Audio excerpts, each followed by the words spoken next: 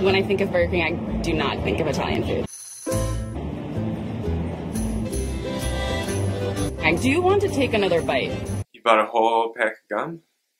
Um, yeah. um, so anyways, like, this cougar's coming after us, and I was like, what? Oh my god, we're gonna die!